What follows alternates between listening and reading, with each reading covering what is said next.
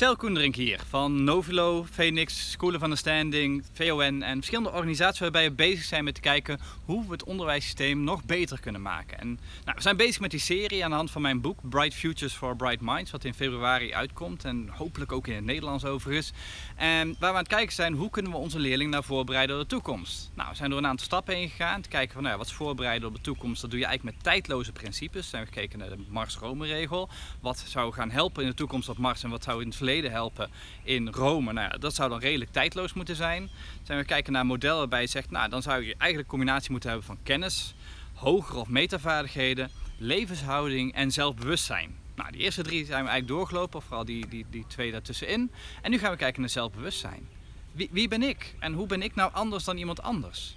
En nou ja, als je in, in het werk en leven kijkt, als je solliciteert, is eigenlijk zo'n beetje de eerste vraag die je krijgt. Wat onderscheidt jou nou van anderen?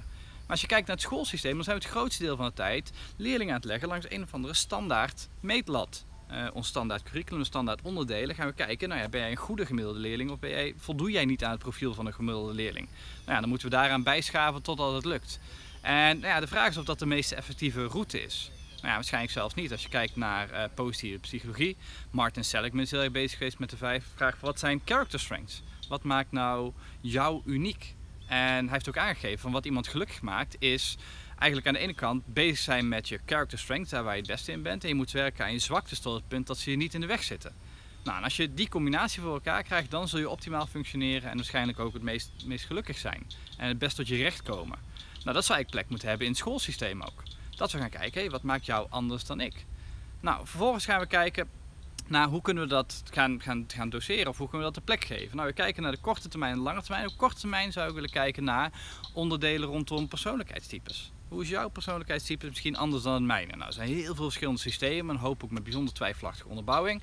Maar in algemene zin kun je ook wel zien dat er een aantal zijn die, die waardevol zijn. De Big Five is bijvoorbeeld er eentje die toch echt keer op keer terug blijft komen als, als waardevol en zinvol.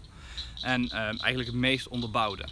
Nou, vervolgens kun je kijken, als je weet welk persoonlijkheidstype hebt, wat betekent dat voor mijn relatie met anderen en hoe ga ik met die verschillende persoonlijkheidstypes om? Wat zijn mijn character strengths? Uh, wat ik net al aangaf, eh, me heeft er echt een boek over geschreven. Character Strengths, gewoon echt een, een soort van bijbel met alle verschillende character strengths. En per character strength aangegeven van ja, wat, wat is de waarde van deze character strength en hoe kun je die het beste tot zijn recht laten komen. Nou, vervolgens is het denk ik interessant om te kijken naar ontwikkelingspsychologie. Op welk ontwikkelingsniveau zit ik nou eigenlijk? Uh, qua morele ontwikkeling is natuurlijk niet iets waar je met een kleuter over kunt gaan praten, maar misschien op zekere hoogte ook wel. Maar dat je op een gegeven moment kijkt, wat is jouw volgende stap? En zelfs met kijken begin je overigens al met kleuters om, om te gaan zelf reflecteren waar sta ik nu en wat is mijn volgende ontwikkelingsstap die ik eigenlijk tegenkom en hoe kan ik daaraan gaan werken. Dus zo, nou, dat zijn denk ik een aantal onderdelen die op de korte termijn interessant zijn. Op de lange termijn is het interessant om te gaan kijken naar, nou, denk aan de ene kant het onderzoeken van cognitive bias. En cognitive bias is eigenlijk een principe dat wij, onze hersenen niet perfect zijn.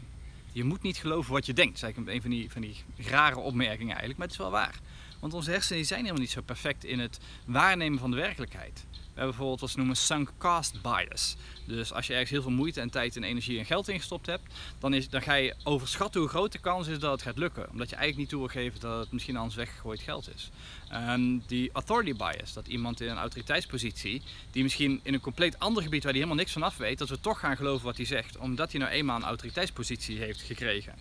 Um, nou, zo zijn er verschillende biases die in ons hoofd zitten. En als je je daar bewust van bent, kun je daarop reflecteren. En het wordt steeds belangrijker. Als je kijkt naar internet en sociale media, die maken eigenlijk steeds meer gebruik van die zwaktes in je hersenen. Waarbij je hersenen eigenlijk nog een beetje op een primairder deel ingericht zijn. En hoe meer we daar zelf van af weten, hoe beter we ook gewapend zijn tegen nou, de media, tegen spelletjes, Facebook en dat soort dingen. En daar horen we denk ik onze kinderen ook een, eh, een stap in te geven. En als laatste hoop ik kinderen echt een, een innerlijk kompas mee te geven. Wat is waar en wat is niet waar en waar wil je heen? Wat, wat is jouw doel? Wat is jouw betekenis in je leven? En daarachter komen, daarmee bezig gaan. Het is niet een, een vraag die je beantwoordt. Niet eventjes nou, vijf makkelijke stappen naar een zinvol leven. Uh, maar je kunt wel activiteiten doen om te leren om daar meer uh, mee te gaan doen. Nou, mochten eigenlijk al die onderdelen waar je tot nu toe over gehoord hebt interessant zijn, dus je zegt, nou, ik wil eigenlijk ook die metavaardigheden, die extra functies zijn wel interessant, de studievaardigheden is interessant, mijn levenshouding, growth mindset, hopefulness, dat wil ik eigenlijk allemaal leren, maar ik wil ook wel leren over zelfbewustzijn en, en nou, hoe, hoe ga je bijvoorbeeld die lagen uit elkaar halen. Nou, daar zijn we bijvoorbeeld met Voice Dialogue mee bezig. Um, nou, dan zou ik je aanraden om toch eens te kijken naar onze all-in opleiding. Um, dat is toch een opleiding voor mensen die eigenlijk niet konden kiezen en zeggen van ik wil het eigenlijk allemaal wel leren, um, om zo'n breed mogelijk mogelijke talentbegeleider te zijn. Waar ik je nu vooral eigenlijk mee uh, nou, wil confronteren is de vraag, hoe ben jij anders? Vraag jezelf dat eens af, wat maakt mij anders? En het grappige is dat de meeste mensen neiging hebben, omdat we er goed in zijn, gewoon te vinden. Ja, ik ben super georganiseerd, maar dat is iedereen. Nou ja, kijk maar eens omheen, dat is waarschijnlijk niet zo. Uh, ik kan heel snel denken, nou dat kan misschien niet iedereen. Ehm, dus wat maakt jou anders? Nou, en ga vervolgens eens aan de keukentafel met je kinderen of ga eens uh, met, in de kring of met een groep kinderen daar een gesprek over aan. Wat maakt jou nou anders? Ga eens leerlingen af en probeer te kijken wat ze zelf vinden. Probeer ze elkaar feedback te laten geven. Het is echt een ontzettend interessant gesprek om eens te kijken van ja, wat maakt mij nou anders dan jou?